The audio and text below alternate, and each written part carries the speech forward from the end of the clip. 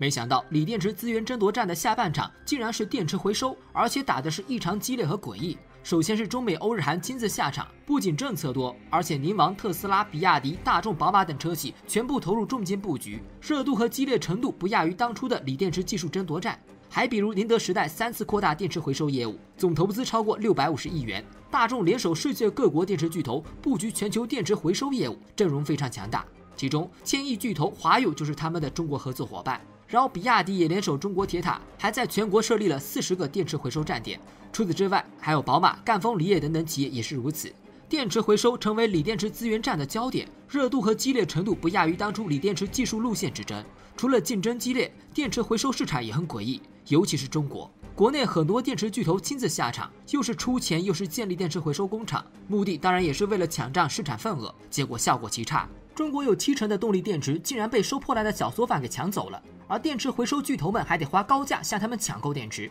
而且是谁出价高才能买得到电池，把电池企业巨头们气的是不行，但又无可奈何。以前他们都是汽车产业里的大佬，都是汽车品牌向他们求购电池，啥时候轮到他们求别人呢？还是一群上不得台面的小企业。于是电池企业的巨头们集体要求整治电池回收黑幕，把小作坊打倒，废弃电池就是我们的了。那么问题来了。旧电池到底有何秘密？为啥突然火了呢？中国电池巨头们为何干不过收破烂的小作坊呢？还别说，这个话题挺大的，因为它关乎到我们的资源战略。大家好，我是熊猫，今天咱们就来说说锂电池资源争夺的下半场。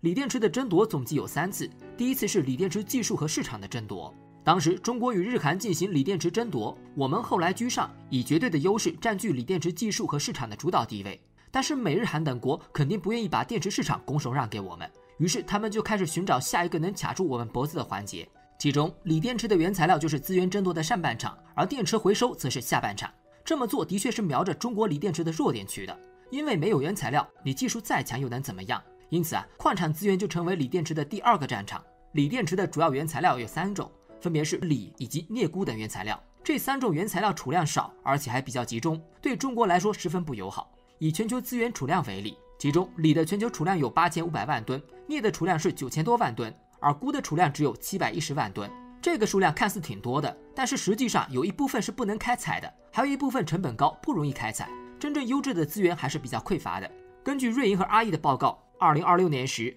镍的短缺将达到五十六万吨。二一零零年左右，镍的资源将出现两百二十万吨左右的巨额短缺。至于锂资源和钴资源也差不多，优质的矿产资源十分抢手。资源不足其实还不是最致命的，更关键的是中国国内在这三种材料的储量上却非常少。比如锂矿资源，中国含量丰富，但是可开采的占比只有百分之五点九，而中国镍资源可开采只有百分之三。至于钴的话，中国占比更少了，只有百分之一左右。因此，中国每年需要大量进口镍钴等资源。也就是说，这三种原材料可以成为扼住我们喉咙的材料。比亚迪的王传福却曾公开呼吁说，中国不能从被石油卡脖子转变到被金属镍钴卡脖子。因此，卡住锂电池资源是瞄着我们的七寸打的。刚开始时，中国鼓励中国企业出海去储备资源，的确取得了一部分成绩。宁王、赣锋锂业等中企通过合作、购买、入股、收购等商业手段，拿下了非洲、南美等大量锂矿的开采权，解决了一部分问题。但是锂资源号称白色石油，它和镍钴都属于战略资源。中国想要完全通过商业手段夺取话语权是很难的。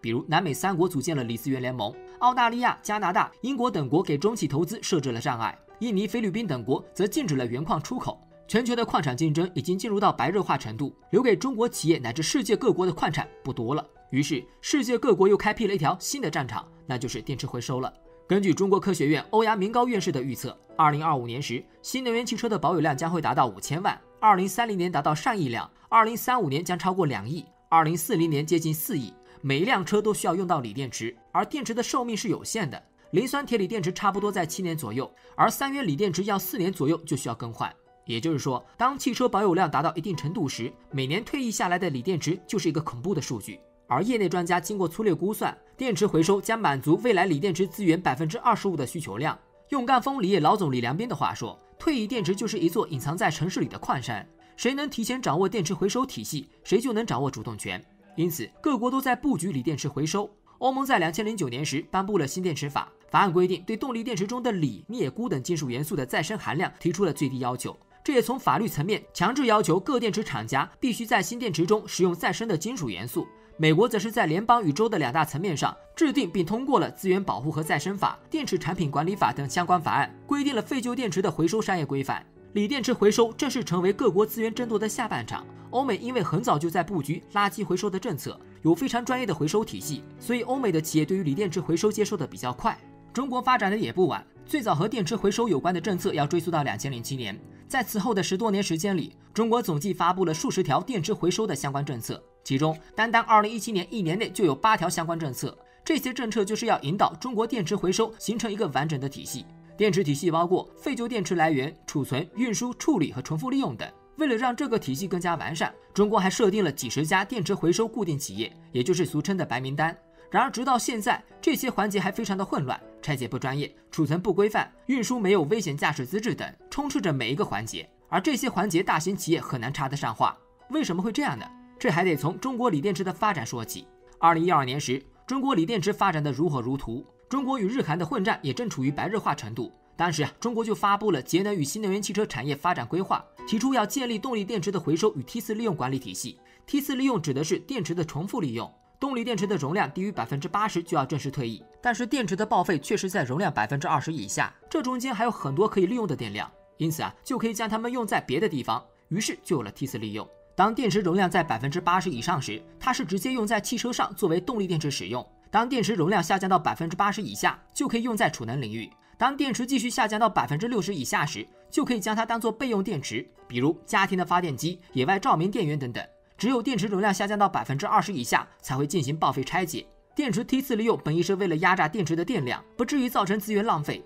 就像挤牙膏一样，你看着是没有了，但是挤一挤还可以抠出更多的资源。但在首次实践中，梯次利用并没有派上太大的用场。中国动力电池批量上车是在两千零九年大规模补贴之后的，而且上车之后的电池主要是以磷酸铁锂为主，而这批电池的退役时间还没到，因此市场上的废弃电池并不多，很多大型企业很少入场，即便有一些退役电池，也大都流入到了黑市里面。据统计，那时候市场上有九成的动力电池都被第三方企业给回收了，这些第三方企业都是一些规模很小的小作坊，没有资质，没有专业的拆解技术。锂电池又是易燃易爆的危险品，拆解时需要高温热解、化学溶液进出等等步骤，稍有差错很容易引起电池短路、起火，甚至是爆炸等问题。而且储存和运输过程中也有类似的问题，比如电池零部件应该分类放置，这是为了防止火灾。但是小作坊一般是直接将零部件堆在一起，发生火灾或者是爆炸等意外情况就在所难免了。运输环节也是一样，废弃电池需要严格的包装和装车，运输时啊需要特殊的车辆单独运输，减少自燃的风险。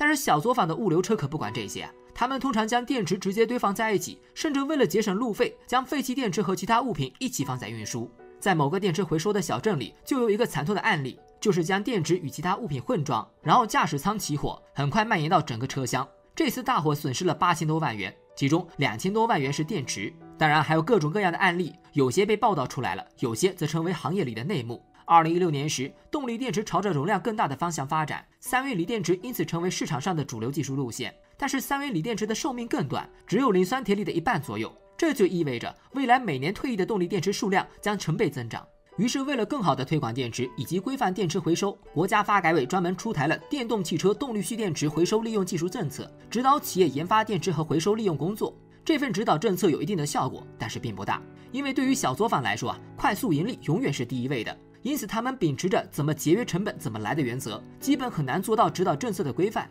而且，随着废旧电池的数量增长，新的问题又出现了：电解液中含有各种溶剂、添加剂等化学制品，如果处理不当，则会造成环境污染。于是，电池回收市场就不只是危险了，还环境污染等问题频发。二零一八年，工信部开始着重整治电池乱象，当年连续出台了五份电池回收的文件，涉及到办法、规定、方案以及意见稿等等。其中还包括了中国首批动力电池企业白名单。白名单其实不是正规叫法，它指的是具有正规的电池回收技术的企业，并且由官方审核之后颁发的回收资质，属于电池回收行业的正规军。首批正规军包含了五家企业，分别是宁德时代的邦普循环、格林美旗下的格林美新材料等。当时中国新能源汽车的年销量达到了一百二十五点六万辆，历史上首次突破百万，而市面上的第一波锂电池也已经开始退役了。电池回收正规军与小作坊的较量，就是从这批电池开始的。然而让人没想到的是，两者的短兵相接，却是以小作坊大获全胜而告终。这里面有两个原因，一个是成本问题，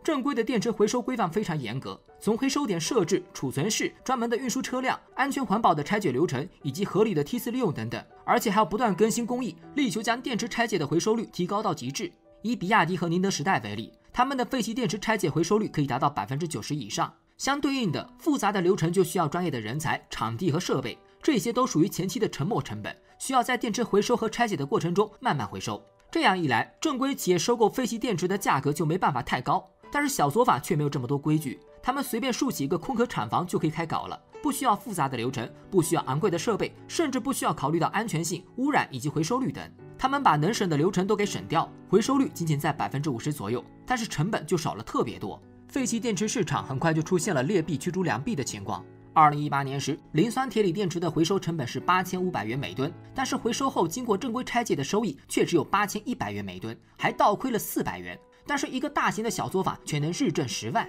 因此很多正规的企业反而不愿意扩大生产，而是维持着少量的业务。有些正规企业甚至还要向小作坊采购，然后再做二次拆解。所以啊，大量的废旧电池都集中到小作坊手上。除了成本外，第二点区别就是回收点的规模也不成正比。小作坊通过高价收购的手段捆绑了全国各地的回收点，而正规的回收点一般需要回收企业自己搭建。这个就像便利店一样。连锁店的规模看着很大，但是根本无法与庞大的夫妻店相比。于是小作坊越做越多，甚至还一度抢走了废旧动力电池的九成份额。二零一九年后，中国锂电池已经占据了绝对主导位置。锂电池从市场竞争转变到了资源竞争，废弃电池不再单单是一个回收行业，而是转变为国家和企业的战略高地。于是政策和资金就开始入局了。二零一九年，中国相继出台了多个方案和规划，还将电池回收列入碳达峰的行动方案的子项目。到目前为止，中国还没有对电池回收行业进行严格的立法整治，基本上可以确认，未来的电池回收将会越来越正规。